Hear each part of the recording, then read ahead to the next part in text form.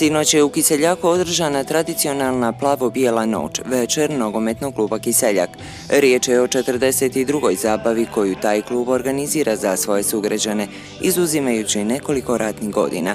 Dosta dobra posjeta i ove godine potvrda je kako ističu u rukovodstvu, kako Kiseljačani cijene trud koji se ulaže u ovaj sport.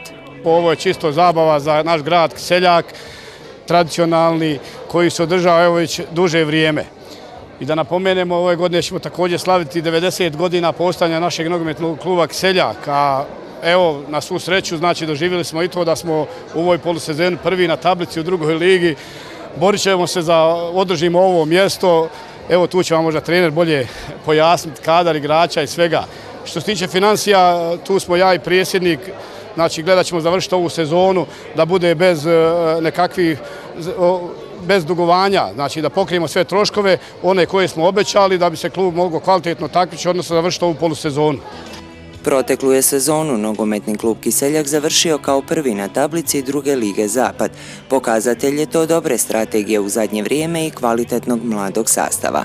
Vidi se da je ovaj, u ekipi sve domaći igrači, da nema momaka sa strane i to je cilj. Znači oni ako uspiju da zadrže prvo mjesto, znači ulazimo u prvu ligu, a po ovoj večer će se vidjeti da ima i sponzora, da je grad sa nama ljudi, ovi koji nešto znači u gradu, da će pripomoći. Ovaj prvi dio smo završili na prvom mjestu, iznenađujuće, znači niko se nije nadao prvom mjestu, završili na prvom mjestu, ovaj, Imamo evo ovaj, od uprave onaj, obećanja, ako ovaj, zadržimo to prvo mjesto, da će nam oni izaći u susred da, ovaj, da se takvićemo u prvoj ligi federacije.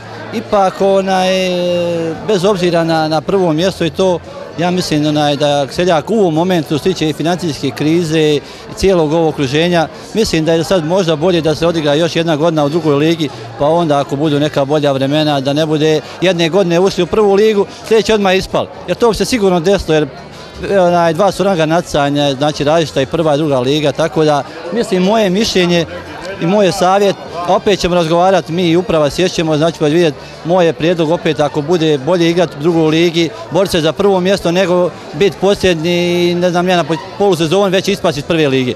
Pratim i trenera rade također pionire, a trener onaj kadete juniora je naš onaj Vlado Komić, znači Tašo ja pratim te momke, pogotovo ta izlazna godišta, ima tu zanimljivi momaka i međutim, kažem, radimo na tome da onaj, napravimo što bolju tu školu, jedne temelje za budući, da dvije godine, za tri, kad bude opet kaj, kad se izađe iz krize, kad budu rekli stane grad, dođe neki sponsor, kaže hoćemo u prvu ligu, onda da se ima znači, neki temelj da odakle možemo krenuti, a ne, ne znam, nije nekog dna iz početka gdje, nemamo ni ciljeva, ni, neke ambicija, ni ništa, znači samo znači od nule neke krenuti. Znači gledamo da krenemo s nečega i to ćemo raditi cijelo vrijeme, da imamo od neće krenuti.